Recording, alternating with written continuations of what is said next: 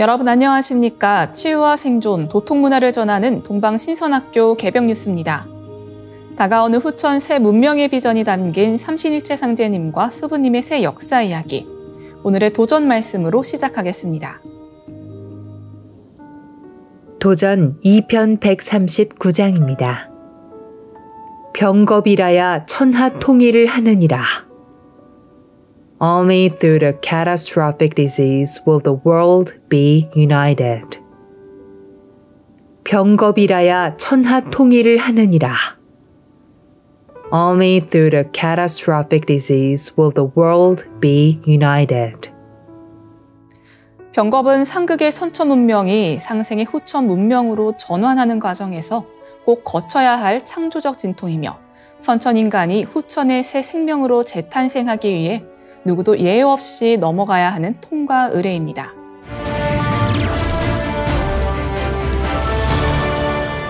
이어서 지구촌 개벽 소식입니다. 지난해 영토 분쟁 후 평화협정 체결을 추진해온 아제르바이잔과 아르메니아가 영토 경계를 명확히 정리하기로 합의하고 국경 획정을 위한 공동 작업을 진행하기로 했습니다.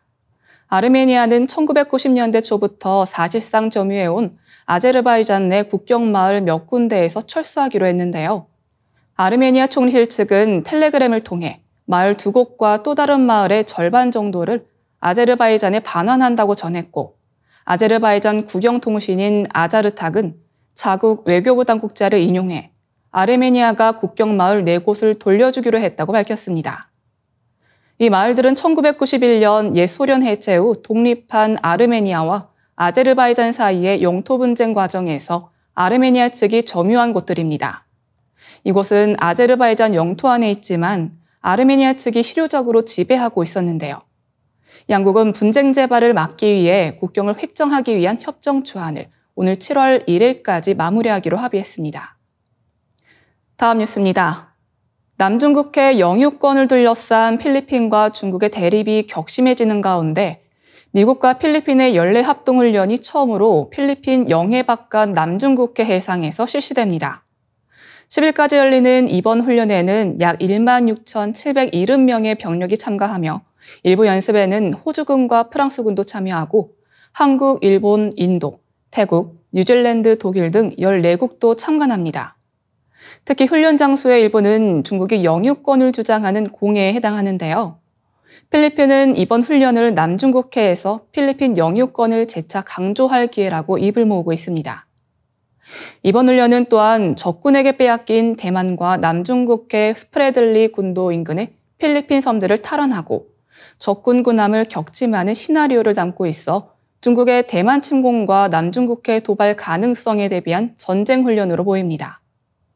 한편 미 국방부 라이더 대변인은 미국과 필리핀의 연례 합동 훈련인 발리카탄과 관련 필리핀과 함께하는 미국의 가장 큰 연례 훈련이라면서 올해는 해양 안보, 미사일 타격 훈련, 사이버 방어 연습 등과 같은 다영역 합동 훈련을 포함하는 가장 복잡한 발리카탄이 될 것이라고 말했습니다.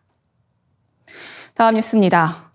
일본 정부는 4월 19일 독도 영유권 허위 주장을 하는 내용 등이 담긴 교과서를 추가로 검정 통과시켰습니다. 외교부에 따르면 일본 정부는 독도 영유권과 일제강점기 일본군 위안부 강제징용 문제 등에 대해 강변하는 내용이 담긴 교과서를 검정 통과시켰습니다. 이에 임수석 외교부 대변인은 성명을 내고 일본 정부가 독도에 대한 부당한 주장과 일본군 위안부 피해자 문제, 강제징용 문제, 식민 지배에 대한 극히 비상식적이고 이해할 수 없는 거짓 기술을 포함한 교과서를 검정 통과시킨 데 대해 깊은 유감을 표명하며 즉각적인 시정을 촉구한다고 항의했습니다. 일본 정부의 역사 왜곡 교과서 검정 통과는 지난 3월 22일 이뤄진 바 있는데요. 일본 문부과학성 검정을 통과한 중학사학과 역사공민지리 교과서 18종 중 16종에서 독도를 한국이 불법 점거한 고유의 영토라고 기술했습니다. 우리 정부의 반복적인 경고에도 일본 정부는 아랑곳하지 않고 역사 왜곡 교과서가 추가로 검정 통과된 것입니다. 일본 정부는 지난 4월 16일에도 가미카와 요코 외무상이 가그에 보고한 2024 외교 청서에 독도 영유권 허위 주장을 담은 바 있습니다. 교과서 문제를 포함해 올해 들어 네 번째 독도 영유권 공개 주장입니다. 일본은 매년 2월 다케시마의 날 행사, 3월 교과서 검정, 4월 야스쿠니 춘계 예대제, 5월 외교청서, 7월 방위백서, 8월 야스쿠니 참배 등 독도 과거사 도발을 되풀이하고 있습니다. 단순한 되풀이가 아니라 점점 더 강화되어 가고 있는 독도 문제. 단순히 외교적인 항의는 계속하고 있지만 일본은 매년 한 발짝씩 더 나아가는 모습입니다. 이어지는 순서는 상승 라이프입니다.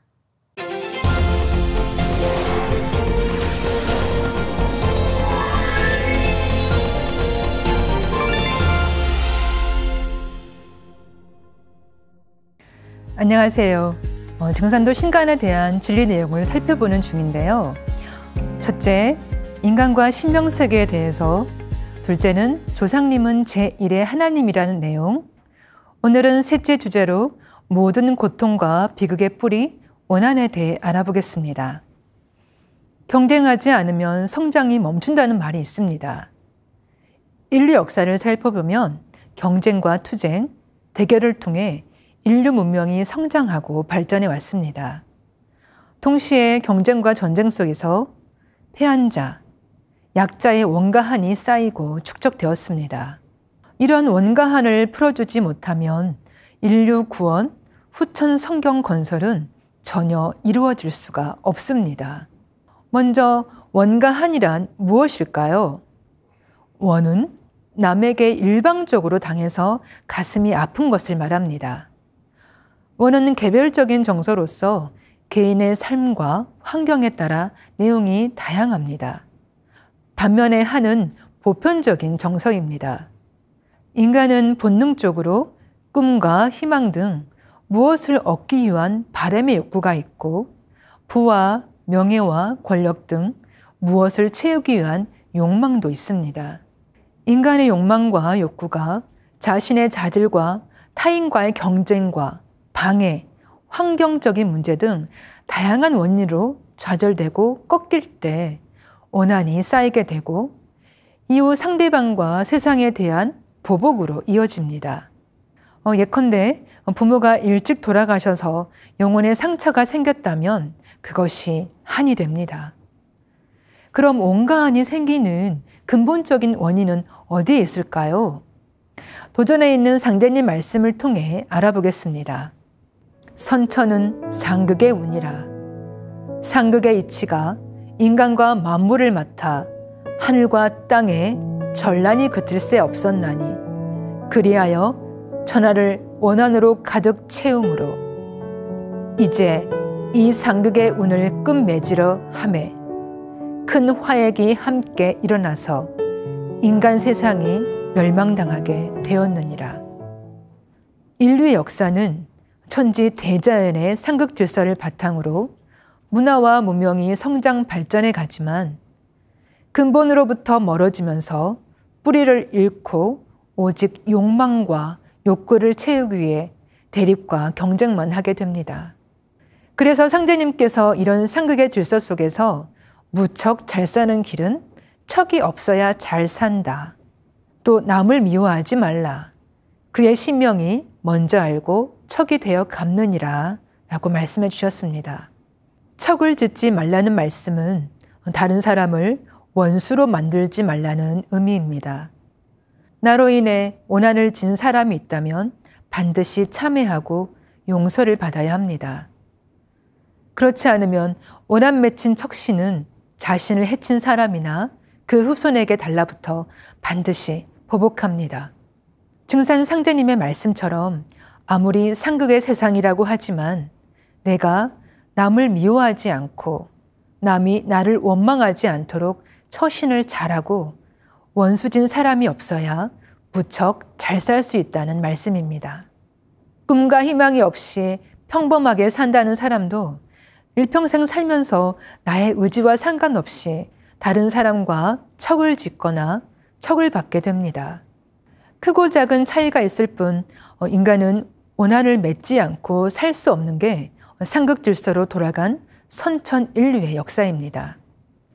상제님께서 세상의 모든 참사가 척신이 행하는 바이니라 라고 말씀하셨습니다.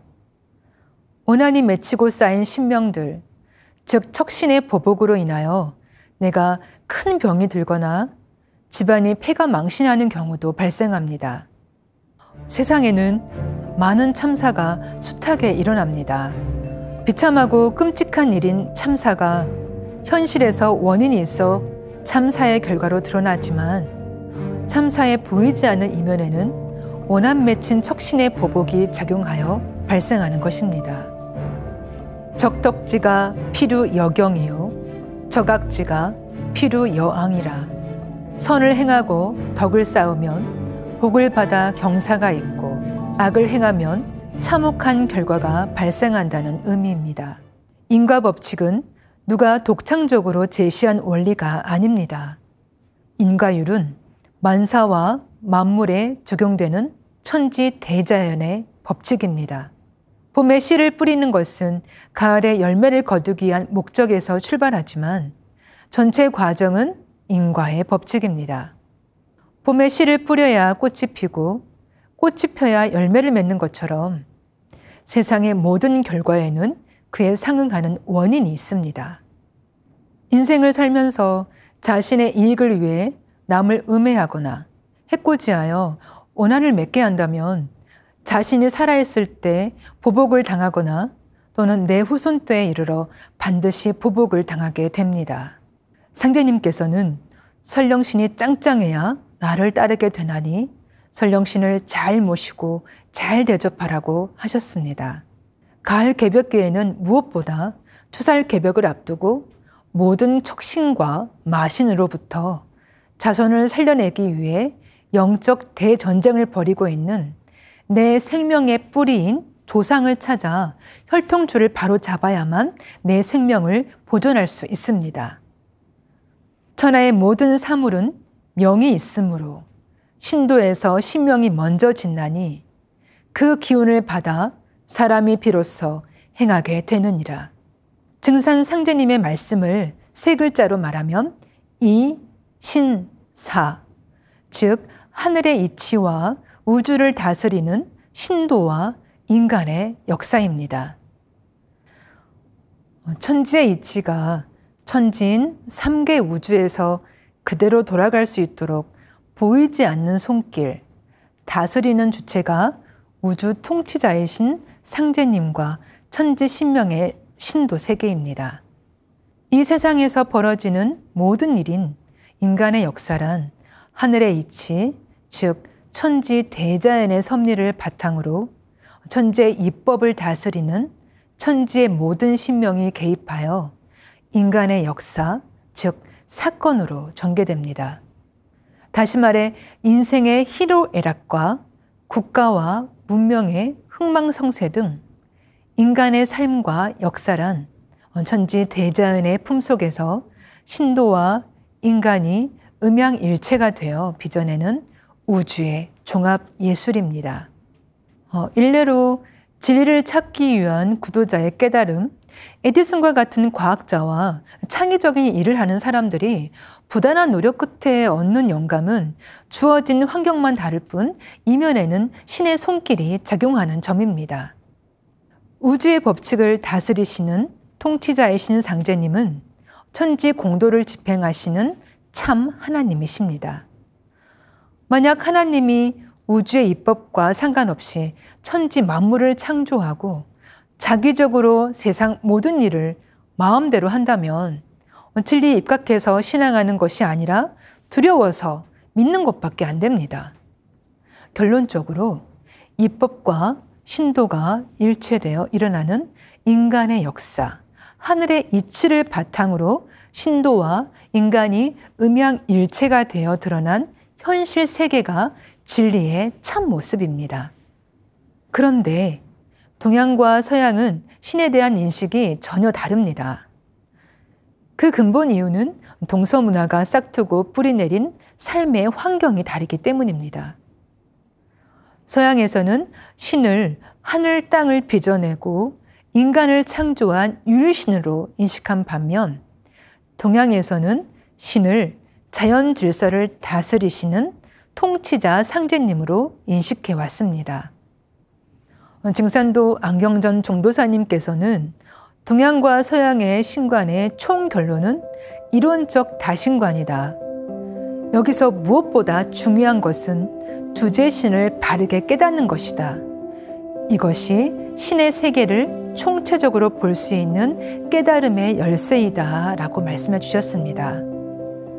이론적 다신관이란 한 분의 최고 신을 중심으로 수많은 신들이 존재하고 근본은 같지만 서로 다른 위격으로 존재한다는 것입니다. 어, 이것을 쉽게 이해하려면 인권 평등, 인간 존엄을 생각해 보면 됩니다. 한 나라의 통치자인 대통령이나 일반 시민이나 똑같은 사람입니다. 인권 자체는 평등하고 또 누구나 존엄합니다. 하지만 엄연히 그 역할과 위상은 다릅니다. 신명계 역시 이와 마찬가지입니다. 세상에 베푼 공덕에 크고 작음이 있기 때문에 전상 신도 세계에서 독격과 위격이 서로 구별되는 것입니다.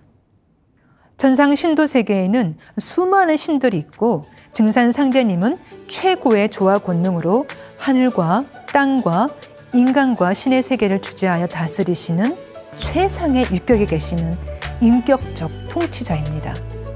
오늘 모든 고통의 뿌리, 오난을 시작으로 동서신관의 결론까지 알아보았는데요. 다음 시간에는 신도 세계를 체험하고 신명과 하나가 되는 수행에 대해 공부해보는 시간을 갖겠습니다. 감사합니다. 오늘의 동방신선학교 개병 뉴스는 여기까지입니다. 시청해주신 여러분 고맙습니다.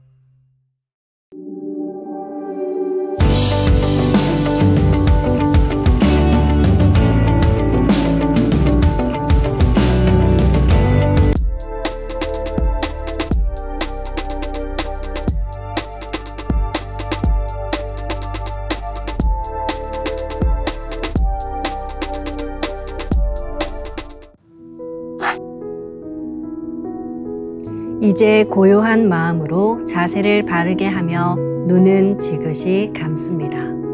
잡념을 끊도록 허리를 곧게 쭉 펴니다. 생각으로 우주 원십자를 긋고 원십자를 빙 둘러 정원을 그립니다. 이제 원십자 정중앙 영영좌표에 나의 회음을 맞춥니다. 나의 회음이 영영좌표와 일치하는 순간 나는 무국의 조화 바다 속에 뛰어들어 온 우주와 하나가 됩니다. 이제 모든 것을 비우고 숨결을 느끼며 고요하게 내쉬고 들이마셔 봅니다. 나의 하단전을 바라보며 숨을 점점 더 천천히 깊게 호흡합니다. 이제 천천히 숨을 내뱉습니다. 천천히 내쉬는 숨에 스트레스와 피로, 우울, 불안, 원망과 분노 등 모든 어둠을 몸 밖으로 내보낸다고 생각합니다. 이제 천천히 숨을 깊이 들이쉽니다. 나의 생각으로 하단전을 열어 우주 조화의 빛과 생명의 기운을 가득 들이마십니다. 잠시 호흡하겠습니다.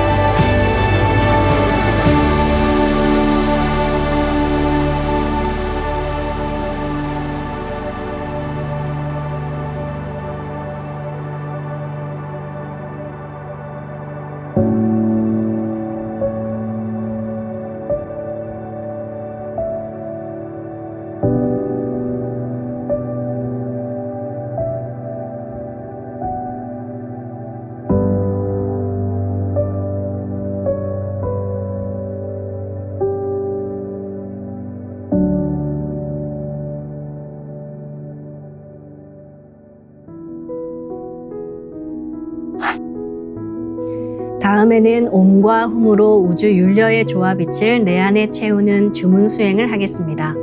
이 대우주의 율려를 내 몸에 실는 가장 지극한 소리가 바로 옴과 훔 사운드입니다.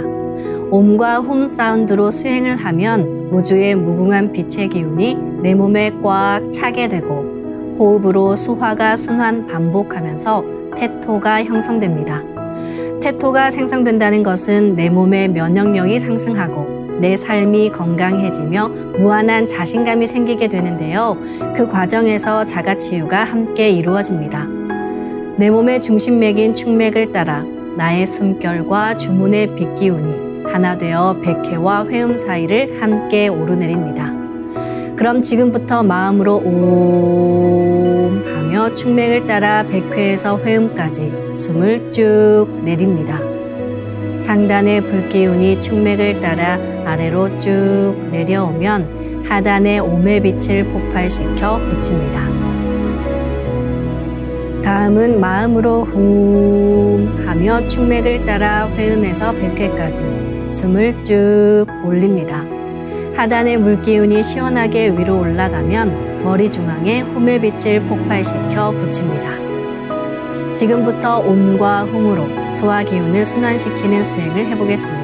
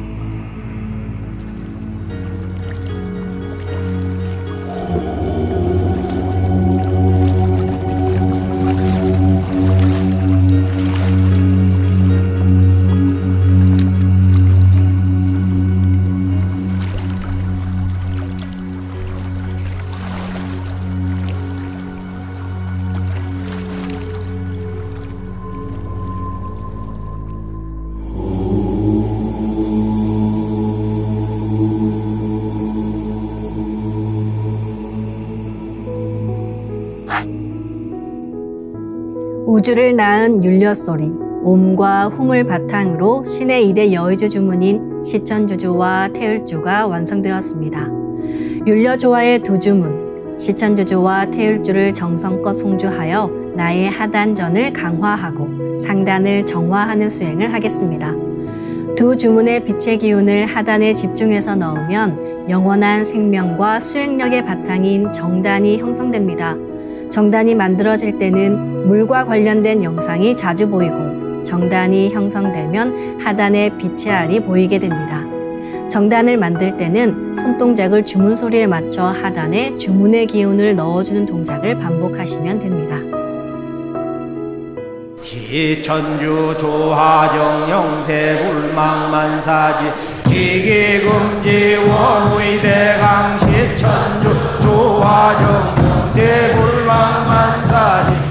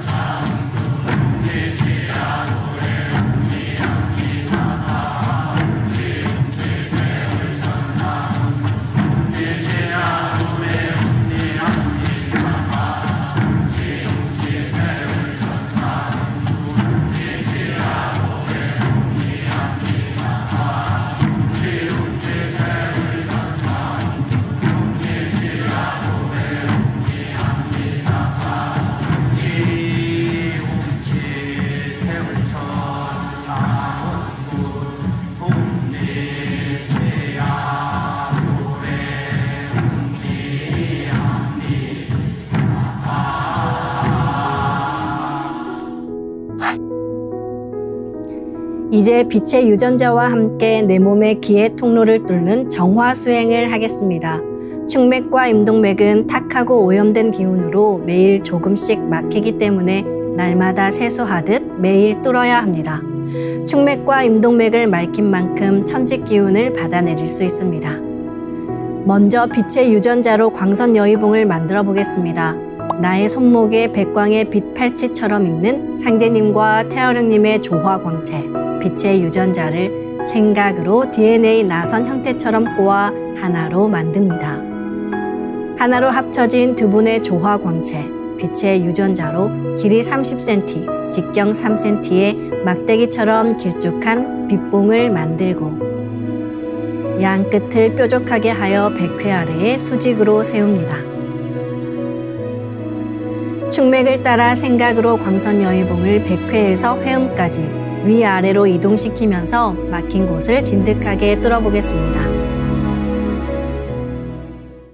기천주 조하정 영세 불망만사지 지기금지 원의대강 시천주 조하정 영세 불망만사지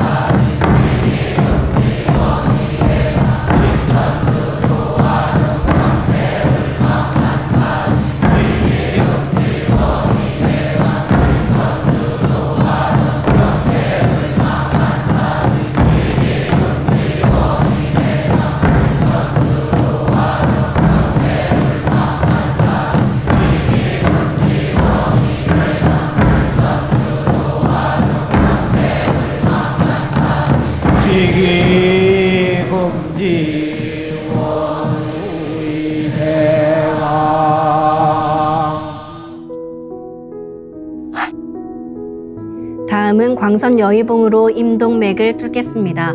그럼 광선 여의봉을 생각으로 회음 쪽으로 옮깁니다. 임동맥을 뚫을 때는 호흡에 맞춰 뚫는 게 좋습니다. 회음에서 동맥을 따라 들숨으로 광선 여의봉을 올리고 인맥을 따라 날숨으로 내리며 임동맥을 정화하겠습니다. 치움치 태울 천사문구 내 죄야 노래 내앞 니 사파 치움치 태울 천사문구 내 죄야 노래 내 앞니 사파 치움치 태울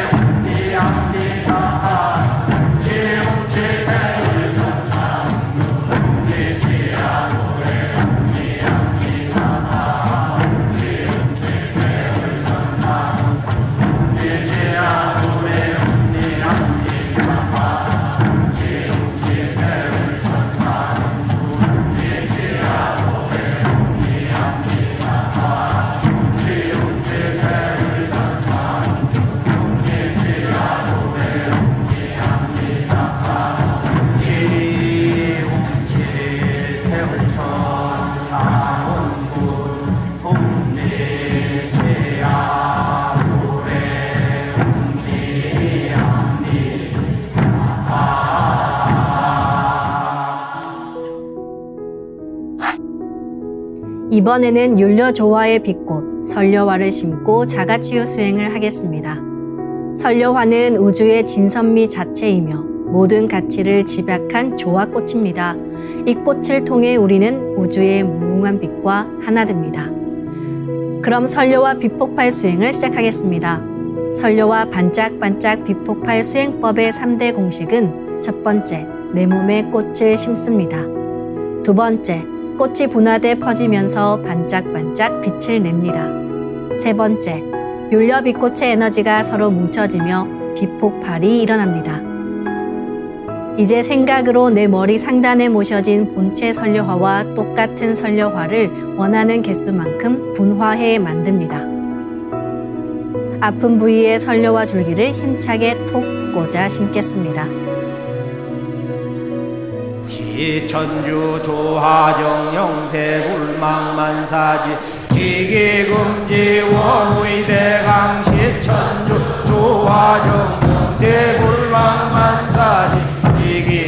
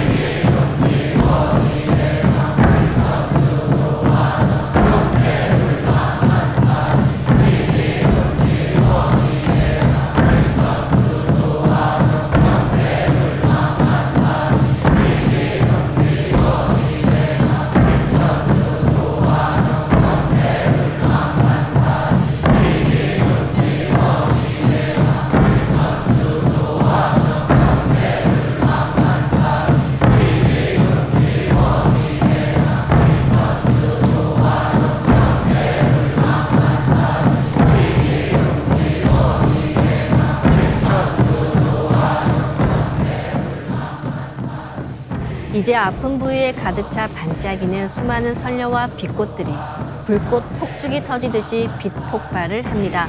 그래서 아픈 부위 전체가 빛이 됩니다. 이 빛은 만유 생명의 원천적인 동력원, 우주 율려의 조화 빛으로 더욱 강력한 소생력을 가지고 나를 자가 치유해 줍니다.